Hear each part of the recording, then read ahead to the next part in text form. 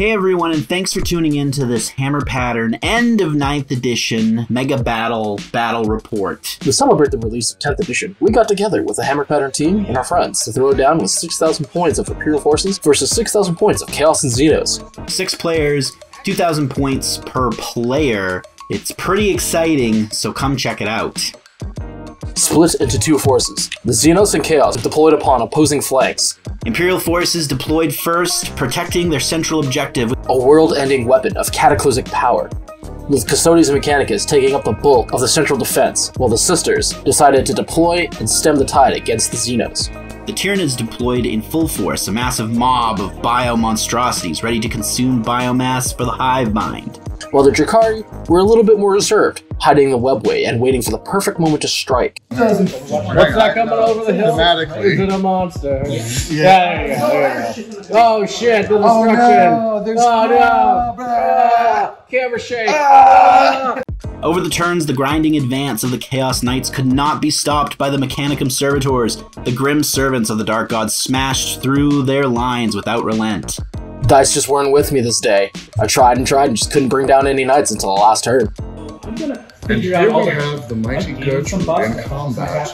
The sister Repentia are here on the battlefield in their leather-clad forms. The mighty Gertrude, however, is too large for the boxes. I'm David Attenborough. Goodbye. On the other side of the battle, Drukhari streaked across the battlefield alongside Tyranid bioweapons, corralled like a wrecking ball into the lines of the Sisters of Battle. We got to see some great classic 9th edition moments. Squads of Repentia fighting on death and almost single-handedly killing a and Hierophant.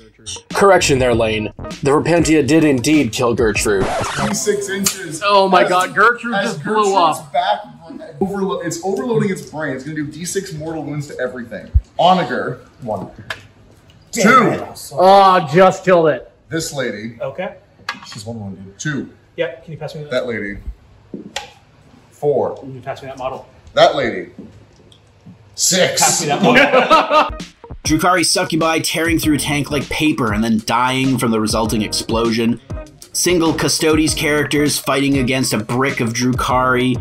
Saint Celestine punching an airplane in half, and Skitarii assassins blendering hordes of Tyranids. But this video is more than just us talking about the big final clash we had to set off the edition. And we want to take this moment to highlight and appreciate just how far this game and hobby has come. and how much of a wonderful journey it's been for us. I myself painted a ton of not just individual models, but whole armies. At least two Death Guard armies, Night Lords, Flawless Host, my Chaos Knights army, some Tyranids, White Scars. I added to my my ever-growing guard collection. Now, honestly, I don't even think that was all of it. What about you, Lane? How much stuff did you paint throughout the edition? I spent lots of the edition painting up new plastic incubi, getting Corsairs ready, and repainting a lot of my Drukhari force to get up to a more uh, high quality of paint, as well as practicing for league games, spending lots of times going to tournaments and going to special events like that.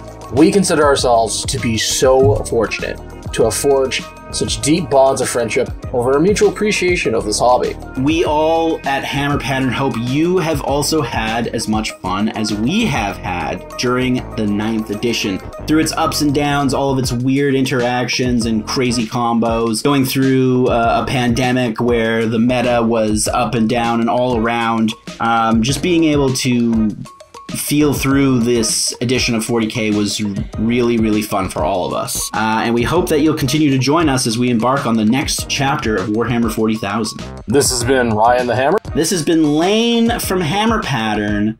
Thanks again for tuning in. If you want to cause war crimes on the like button and comment on the various analytical buttons, we would appreciate it. The team uh, always loves to hear comments. It's my only source of dopamine. Keep pressing those buttons. Stay tuned for our next video.